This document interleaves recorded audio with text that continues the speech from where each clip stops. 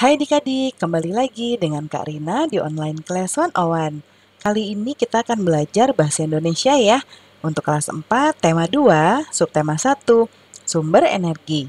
Di pembelajaran kali ini kita akan belajar sumber energi kincir angin di halaman 25 sampai dengan 26.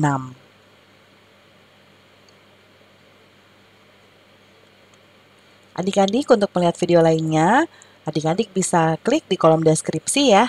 Di scroll ke bawah, dicari adik-adik kelas berapa dan mau lihat tema berapa. Kalau udah ketemu nanti akan ada biru-biru yang kayak gini, diklik aja, itu nanti untuk playlist uh, tema yang adik-adik pilih. Atau bisa juga di kanan atas ini, adik-adik klik, nanti akan muncul playlist dan juga video rekomendasi lainnya ya.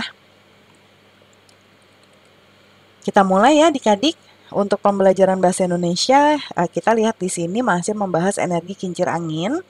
Nah, di sini uh, berdasarkan hasil percobaanmu, uh, diskusikan pertanyaan berikut bersama teman kelompokmu ya. Jadi pertanyaan pertama adalah apa sumber energi kincir angin? Ya. Nah, di sini Karina akan menjawab di sebelah kanan. Jadi uh, di pembelajaran sebelumnya uh, di IPA kita sudah belajar kincir angin dan kincir air. Ya, sudah ada perbedaannya juga di situ. Nah, uh, dan itu ada percobaannya. Nah, jadi kalau energi kincir angin itu adalah sumbernya energi angin. Ya, jadi dengan adanya angin dia bisa berputar. Kemudian yang kedua, bagaimana kincir angin bisa berputar? Cara kerja kincir angin adalah kincir angin dapat berputar jika angin meniup bilah kincir. Kemudian menggerakkan poros kincir sehingga kincir angin dapat berputar. Ya. Lalu yang ketiga, apa manfaat kincir angin dalam kehidupan sehari-hari? Yaitu pembangkit listrik untuk mengubah energi angin menjadi energi gerak pada penumbuk padi, membantu penyaluran air dalam irigasi. Kemudian berikutnya tuliskan lima manfaat kincir angin dan kincir air ya beda ya kincir angin yang menggunakan angin e, menggerakkannya kalau kincir air yang menggunakan kincir air. Nah, sekarang lima manfaatnya adalah kincir angin dan kincir air dapat digunakan sebagai pembangkit listrik, membantu penyaluran air dalam irigasi, membantu proses penggilingan hasil pertanian seperti padi dan gandum ya.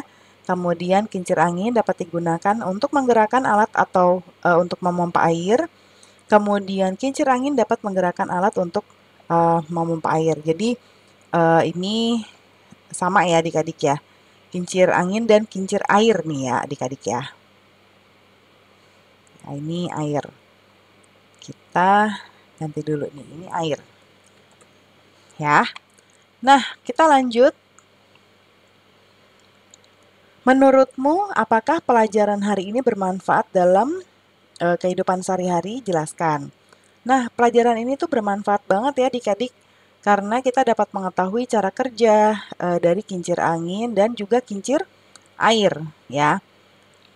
Nah, pembelajaran kita sudah selesai adik-adik.